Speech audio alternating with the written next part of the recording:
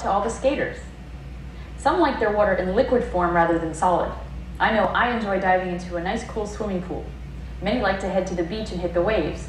We check in with Bob Freeman for this weekend's surf forecast. Okay, thank you. Looks like we'll have plenty of surf again this weekend.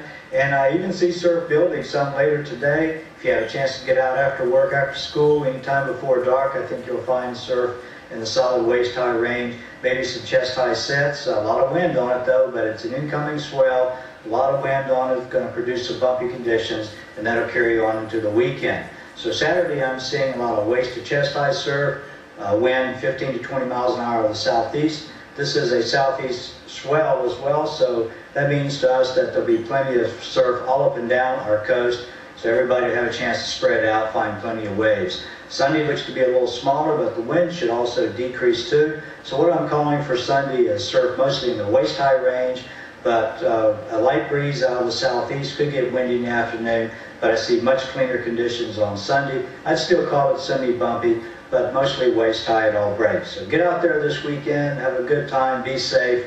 This is Bob Freeman for Florida Today. Thank you, Bob. A local surfer well versed in the word champion is Kelly Slater. The Cocoa Beach native has played a significant role in expanding interest in professional surfing worldwide. Nine world titles can do that. Slater and local brothers CJ and Damien Hobgood are in Tahiti this week for the Billabong Pro. You know, I was I was definitely on a fast learning curve out there. Like, took a couple, had to try to pull through, kind of went over the lip and ended up in the lagoon a couple different times.